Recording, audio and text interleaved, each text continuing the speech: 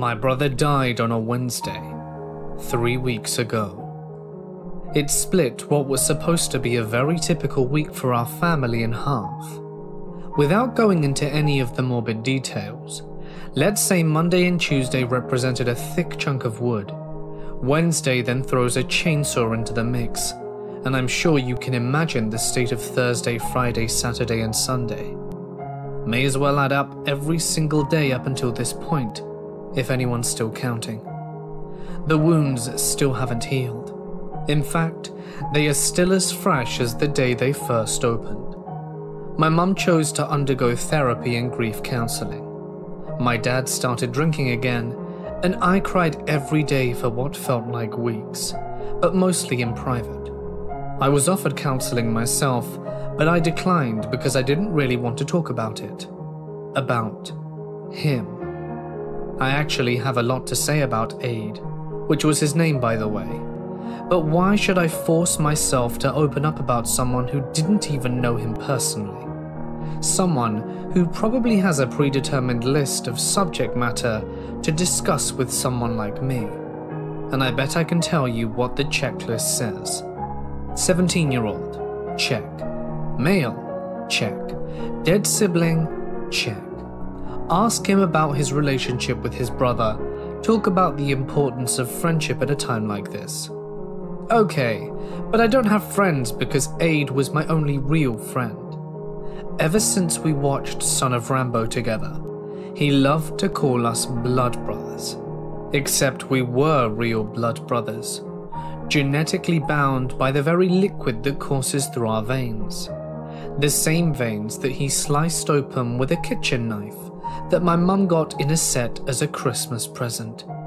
Ironic, isn't it? Christmas was actually when Aid first started acting distant. It became obvious because, like most kids our age, Christmas was his favourite holiday. Now, don't get me wrong, I could have told you when Aid was on the verge of tears because I had taken the last lemon flavoured ice bomb, even if he profusely refused to admit it. But given the time of year, it was so much more obvious. Brotherly instincts work in mysterious ways, and so when Christmas Eve rolled around an Aid wasn't running into my room like an ape who'd just been released from Chicago Zoo screaming, One more sleep, one more sleep, I was naturally very eager to find out why. I talked to Aid that morning in his room, knocking on his door, and hearing his tired little voice only made me even more concerned. However, I have always felt a subconscious duty to refrain from being that type of older sibling. The type of older sibling that constantly reminds the younger half that they have childish, ritualistic obligations that they must follow until the older sibling finally decides they no longer have to. So when Aid jarringly looked up at me from his desk with pen in hand and his old scrapbook in front of him, his mousy brown curls ferociously looping just above his wide, chummy, chestnut coloured eyes, and said that he was fine. I simply believed him. I appreciate that I missed the initial signs that morning. As you can probably imagine, it's something that I will never forgive myself for. Aid turned 13 last year. I assumed that he had just outgrown the magic of Christmas and that it no longer excited him like it used to. Sure, it was kind of abrupt, but I had no reason to bother him about it. Aid's mood continued throughout the day, and so Christmas Eve proved mostly ordinary and quiet. We watched Home Alone before we ate, which didn't particularly pique my interest because I've seen it more times than I have sneezed. I only really watched it to monitor Aid, and to his credit, he smiled a few times. Home Alone was never really one of his favourites, so at the time, this was more than enough to satisfy me. By the time we ate, I started to feel uneasy about Aid's mood again. Dad was nursing his own mood, because his annual Christmas Eve booze up with his co workers had been called off. But to her credit, Mum had gone out of her way to prepare what had been his favourite meal chicken tenders. I'm talking about the ones from Whole Food that they tell you to soak in buttermilk on the back of the packaging.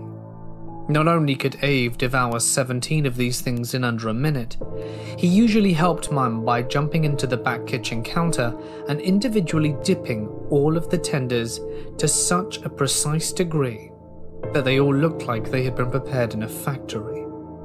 There was no such thing this time around though, and I finally snapped and asked what was up when Aid began fingering his food rather than eating it. It was just too unlike him and it became clear his mood was rooted deeper than I initially thought. His reply? Honestly, I'm just fine. I'm not that hungry. The F word again. The most manipulated word in the English language. Just say it, and it magically cures all your problems, fears, and uncertainties, or at least makes everyone in the room believe that it has. When Aid only managed a few uninspired laughs, and didn't stand up in the middle of the room to sing a singles verse from A Nightmare Before Christmas. Everyone was naturally very eager to know why. It wasn't that it was his civic duty to perform for us. All we wanted to know was what was bothering him. He refused to tell us that anything was wrong. The majority of the time, I tried to ask him after that. He would just pretend he was drawing or writing in his old scrapbook until I left him alone. We never really found out what was wrong with my brother. Hey guys, it's Mort here, and thank you so much for listening. I hope you enjoyed the first episode in this series. Be sure to tune in in two weeks' time for the next one. It's going to be epic. Of course, a huge thank you to Creepimations for animating this. A truly outstanding job. He actually has even more animations on his channel, so be sure to check him out. The link on screen now and in the description. But anyway, for now, guys, I'm going to sign off. Stay awesome, and I'll see you in the next one.